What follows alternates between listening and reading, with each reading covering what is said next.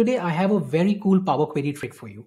In this video, I'm going to show you how you can dynamically change your column names based on another mapping table.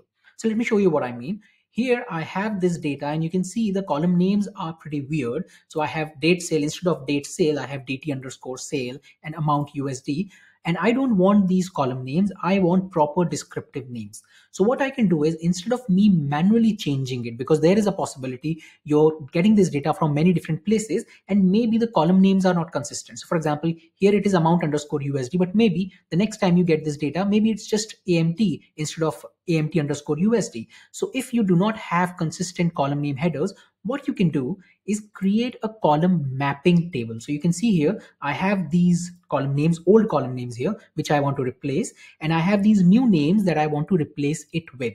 And you can see for one column, I can have multiple names. For example, in this case, it could be C underscore ID or cust underscore ID. And if any of these is identified in my data, it would be replaced by customer ID. Similarly here, either of these, if it is found in my column, then it would be replaced by the name sale date. Now let me show you how to do this in Power Query. And this is very useful in many situations, especially when you're trying to, let's say, combine data from different sources and when the column names are not consistent. So this is the kind of trick that you can use. So let's open these in Power Query. So I would go to this data, right click, then go to get data from table range. So it opens my data in Power Query. Let's save this as a connection. So I'd go to close and load to.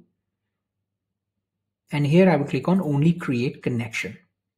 So now this has been created as a connection in Power Query. Let's also open this table, which is column mapping table in Power Query. And now let's also load this as a connection.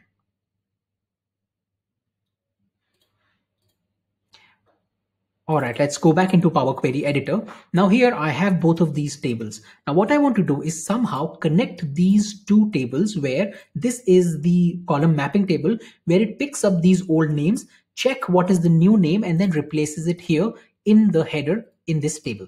So to do that, what I'm going to first do is I'm going to make a few changes in this column mapping table because I cannot use it in this right in this format. I need to change it and convert this into a list of these column names. So what I want is to convert it in such a way where it is going to give me a list that is going to have these two values. So a list that has these two values, then it would give me another list that has these two values and so on. And the reason I'm doing this is because this is what I can then feed back into my data. So don't be confused by this. Let me show you what I mean. So what I'm going to do is add a new step here. So let's click on this FX icon. And here I'm going to use this function called table dot to rows. And now what this function does is it takes a table and then it converts every row in that table into a list. So I would have a list of lists, nested lists, where every element in the list is going to be this row. Let me show you what I mean. So here I'm going to put the name of the table. In this case, it's going to be change type step because that is what holds the table in this case. And now when I click anywhere, you can see I have a list of list. And if I click on this item here, this list uh, value here, you'll see it shows me these two values. So what it has done is in this table, it has converted these two values into a list. And similarly, it has then converted these two values into a list. So this is what I get here, which is list, which has the first row, then the second row, then the third row. And the reason I want this is because this is something that I'm, that I can now feed back into this table that has the column names that I want to change. So here again, I have this data and let me now insert a new step. Now what I'm going to do is I'm going to use a function called table dot rename columns. And this function here is going to let me remove this now. Yeah let me show you what this function does. It is first going to take a table which is going to be this table here. So that is going to be the change type step. So let's just put this here.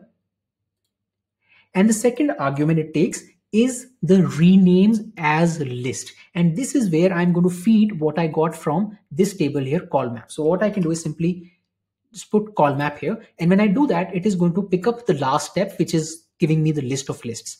And now when I come here and click anywhere, you see it gives me an error. And the reason for this is because I have multiple values here in column map table. So if you come here to the source table here, you can see I have C underscore ID, but I also have customer underscore ID. So it is not finding all of these values. It is going to either find one value or the other. It is not going to find all the values for a given column name. So what I'm going to do is come back here and just add the third argument here, which is missing field ignore, which means that in case there is a missing field, just ignore it. So if you find a column name that is wrong and you find the correct name for it, just replace it. But if you find uh, do not find anything, then just leave it. So it is going to go through all the names in the column map, find the one that it can replace. And if it cannot find anyone, then it will simply ignore it. See what happens when I click anywhere here my table has been renamed how cool is this you can see that i have i started with something like this where my headers were my column names were really weird. But now i have this table here and my column names are right. And these column names have been picked up by another table that i created.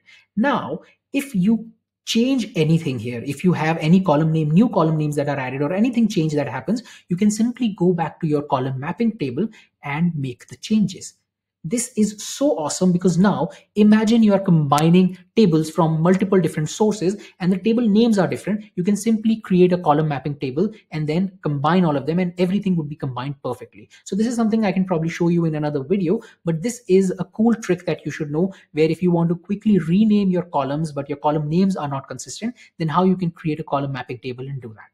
That's it in this video. I hope you found this useful. Also, if you're liking these videos, please subscribe to this YouTube channel and click on the bell icon so that you never miss out on any new Excel tips video I come up with. Thank you and have a nice day.